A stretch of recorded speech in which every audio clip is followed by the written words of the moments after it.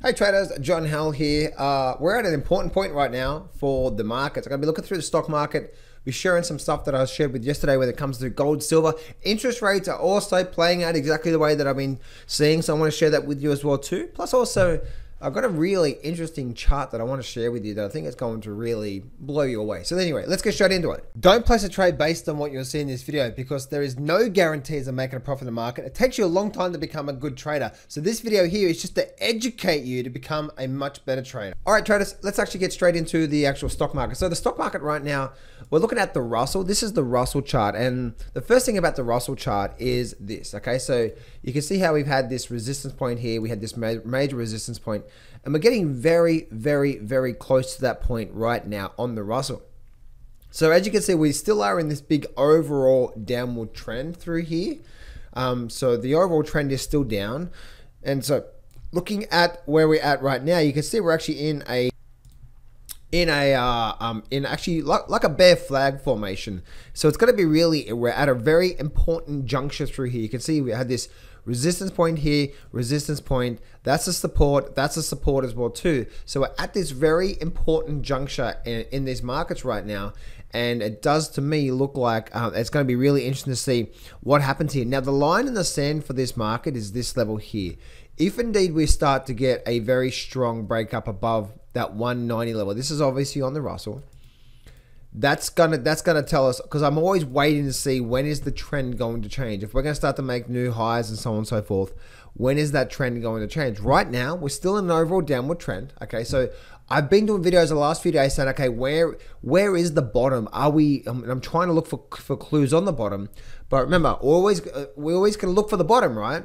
But I'm always saying, okay, who's in control? Who's in control? Who's in control? Meaning, where's the trend? Where's the trend? Where's the trend? Where's the trend? So you can see what's happening here. This this whole line in the sand, this this this is that last significant high. Okay, so in a downward trend, what do we have? We have lower highs, lower highs, and lower highs, right? But if we start to break above this high here, we're no we're no longer what? We're no longer making lower high. So if we make lower high, lower high, lower high, and then we break the high, what can happen sometimes is that's now a warning and now we make a high low and then we start an upward trend. So that'll be the high there that I'm watching very, very, very, very closely to show you or to see what's happening here. Do we end up breaking above that 190? Right now we're still in what? High, significant lower high, significant lower high, significant lower high. This could just be another significant lower high before we end up backing back down to the markets here. So guys, I'm always analyzing what's going on with the markets, okay? I can do videos from day to, I, I can do videos every day, but the most important part is, okay, what's happening right now in the markets and go with that, okay? There's a, there's a big thing out there that I'm, one of the mistakes I've made in the past, which is going to people who I believed that were going to tell me when the bottom was going to be in, when the top was going to be in, and so on and so forth. The number one thing is to continually reading what the market is telling you, which simply means looking at the trend analysis from that there. Let's look at the stock, the S&P 500, and it's doing something quite similar. Okay, quite similar to the to the Russell. Right, we had this overall downward trend.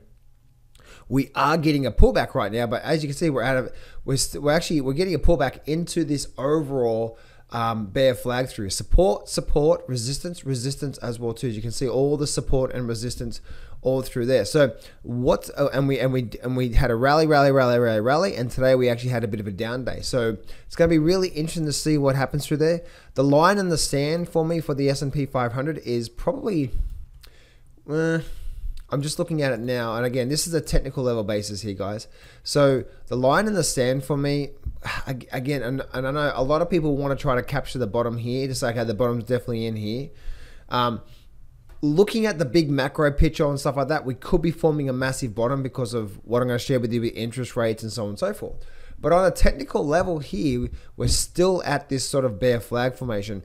I would have to say for us to start to get into a pretty free and clear okay, the market's now completely changing tune, is we'd have to get we'd have to get back above this sort of 4,300 level. We have to get back above here. You cannot. No one's going to tell you this is the exact bottom. No one's going to tell you that. And and and the, and what you want to do is you don't want to try to capture tops and bottoms, right? So, but because as you can see, this is a high. This is a lower high. This could just be another lower high before what? Before we do something like that, right? So we just need to keep an eye on that. But for this, to, if if this is going to start to break above this high if this if that's that last high, if we start to do something like this, and we start to get a break above there, and then we come back down to test it, test all these levels here as support, and then we start to do something like that. Guess what? Then yes, we're probably going to be on our way to probably six thousand on the S and P 500. I believe we're going to see 6,000 on the S&P 500 on the next rally. Yes, we're probably going to see another rally um, out of the market soon, but I, I, I just have to wait and see whether what actually happens here when it comes to the markets here. That's the S&P 500. Look at the Nasdaq. The Nasdaq is doing sort of the same thing as well too, or actually the exact same thing. What do we got here? We're actually in this bear flag formation, as you can see. And looking at the Dow Jones, the Dow Jones doing the exact same thing. And if you look at the overall trend line, we've got that overall sort of big long-term trend line. So we're coming up to a very important point with the actual markets squeezing up through here. Now traders, there is amazing, amazing, amazing quality trades that are happening across these markets. Um, you know, both short and both bullish and bearish. So just make sure you keep an eye on these markets and make sure you're not make sure you're not one way, okay? Because throughout the throughout all these different stocks, this S&P 500 and the Russell 1000, there's so many really good bearish trades that are happening and there's so many good bullish trades that are happening both sides, right? So I'm doing analysis on the S&P, the Nasdaq, the Dow, the Russell, stuff like that. But it's really interesting to see that although this just keep it keep it keep a non-biased view because there's there's actually plenty good trades on the bullish side right now and there's plenty good trades on the bearish side right now as well too okay um, and so let's have a look at the GDX right now the GDX right now is still at my overall trend line through here um, I was saying that I was saying um, a few days ago actually that we're at this we're at this sort of channel through here and we need to break above and I do believe once we get back once we start to break back above this channel then we're probably going to see a nice rise through here. If we cannot see a rise through here, then we're probably going to start to see. I know, don't shoot the messenger. Oh, John, John, John, John, you suck. Okay, so we could actually see, we actually could see another fall back down to the support levels. You can see, look at it just hovering around resistance, resistance, resistance. We, we tried today. We tried so much today to get back above it, and then and then we actually could actually, and then we then we're right there. If we cannot break above here, then um, then we're probably going to see another movement on the downside. Same for the SIL as well too. As you can see, let me just make that a bit thicker for you. As you can see through there, right. So let's just create a parallel trend line so we can develop the channel. Okay, where the channel is, and as you can see, look what happened today. We rallied up. We tried to break it back above it, and then we actually didn't. We actually rejected and we got back in, into that channel. It's crawling, crawling, crawling, crawling. If we start to break below these lows levels through here, we could actually see, we actually could be getting ready for another another strong movement on the downside in the mining sector. I am I am long term bullish on the mining sector, guys. I really am. Short term, eh, not happening. It's not happening. Um, looking at the uh, looking at gold. Let me take let me take off a few trend lines here. This we've got this very long term trend line that's coming through right now. Let me take that off the screen. Right, so we've got this very long term trend line, and the market's right at that level right now. So what's going to happen here? We, we did get we did get that short term rise. I did a video yesterday um, saying, uh, and we were right here. Uh, we were right here when I did the video. I said get ready for a, a short term rise out of gold, and that's exactly what happened. Um, and now we're sort of just holding through there um, as well. If we're looking at a short-term analysis, there is, there is a bit of a trend line coming down through there somewhere. Uh, again, let's just make that a lot thicker. And so you can see we're at this support level here, but we also have this overall sort of channel in place as well too. let me actually bring this here through to there, there, through to there, right. Um, let me see. Is it actually? Is there a support level through there? Is that the? Is that that's probably the support level through there? Let me see if I can. I'm just doing this on the fly right now, so it's probably through that level through there. I would say. So it's probably through that through, through that level through there. Because that's the major support level I would say that we're in. And obviously we got a little bit of a higher level up through there as well too. So somewhere that that whole that whole area through there is obviously an angle. But um, that's where we're at right now, right? We're at this sort of X marks the spot on gold. Gold is probably likely to continue to have a bit of a rise through here, um, but it definitely doesn't mean the actual the trend has started to change. And the same thing for silver as well too. You can see what's happened with silver. Um, let me just delete that off the screen. So silver is actually doing the same thing through here as well. You can see how we're getting this rejection point through here, and also you've got this sort of. Uh, let's actually just create a parallel trend line out of that one.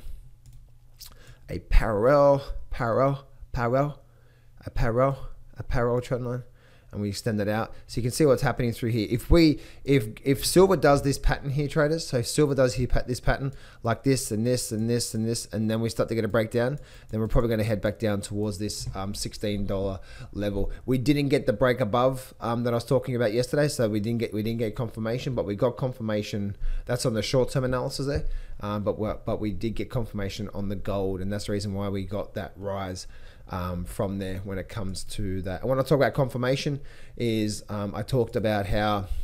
Let me just take it off the screen. I was saying that that this is that this is where we were last night, and I'm saying once we actually break above these highs up here, then it's probably going to trigger a bit of a short-term rally out of the markets there. Again, if, for you guys that are intraday traders through there, so that's what I'm looking at on the uh, on on the actual uh, stock market through there. Let's go have a look at the interest rates. Interest rates are doing exactly what I was, what I've been planning and what I've been saying this whole time. I've been absolutely just spot on. I've been wrong with some other calls. I'll, I'll eat my crow for that. But the interest rates, I've been absolutely bang smack on about what's coming through here. And uh, even when we were down through here and we come down through here, I'll say we're probably going to get a, a strong bounce into the head and shoulder formation and then a roll over and then a continuation. That's exactly what's happening. We're continuing getting some bearishness. We continue getting a selling off into the 30 year. You get the 10 year down almost 10% as well too. Again, this is exactly I've been sort of screaming head and shoulder formation uh, through here. And then now, as you can see, we're probably going to see a very, very, very continuation on the bearishness on that down. This is going to be bullish for markets.